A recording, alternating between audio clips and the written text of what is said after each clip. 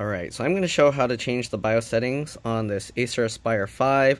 It says model number N19C3, but the actual model number is this A515-43-R19L. Right, so first thing we want to do is turn it on. Alright, so obviously press the power button, but you got to be ready because you have to do this quick. So press the power button and then hold the function key and keep pressing F2. Alright, so just keep pressing F2. If it doesn't work, like you see right now, you might have to restart the computer and then do it again. So let's wait for that to go, and then we'll do it again.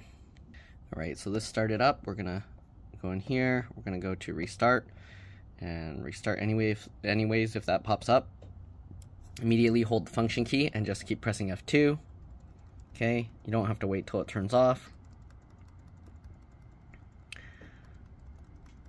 Okay, just keep pressing F2 holding the function key, and there we go, we got the BIOS.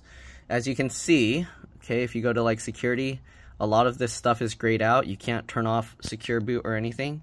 All right, so what you gotta do is you gotta set up a supervisor password. So go into there, press enter. You can put whatever you want, but make sure you don't forget it. Okay, put something simple. I just put password, so I'm gonna remove it later, but that's what I do to make it easy to remember continue and now you can see we have access to all these settings now.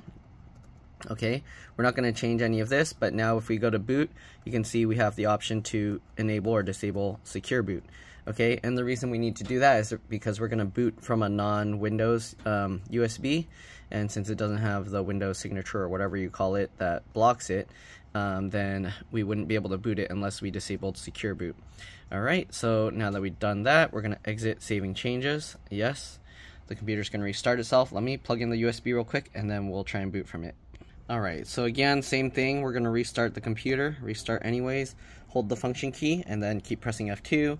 I was trying to find um, the shortcut to boot from, what do you call, like a temporary boot device, but it doesn't work. Usually it's F12, um, but I don't know, it wasn't working. So we're going to just go back into the BIOS and then do it manually, okay?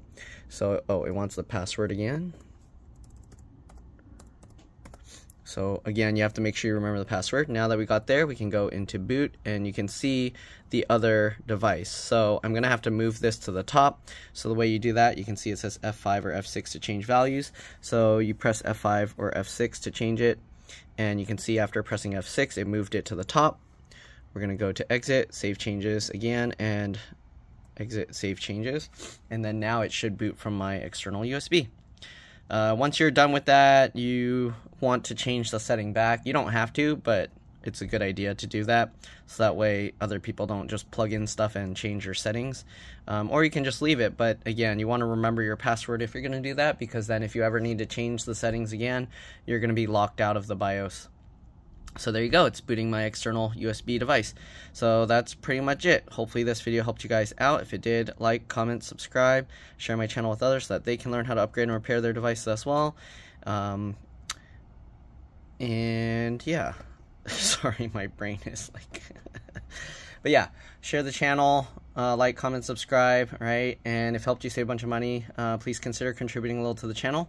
Every little bit helps and allows me to continue making these videos for a living, right? If you can't help out that way, it would help a lot if you could watch a few of my other videos and then like and comment on those as well, because that's what the algorithm likes to see. I also have another channel called It's Been Repair. Oh, sorry, It's Been Reviewed and More. Um, if you could subscribe to that one, it would help a lot. I need to get to a thousand subscribers on there. It's currently at a little over 500. So yeah, anyways, that's pretty much it. You can boot from whatever now, Linux or whatever you want to boot. And I'll see you all in the next one.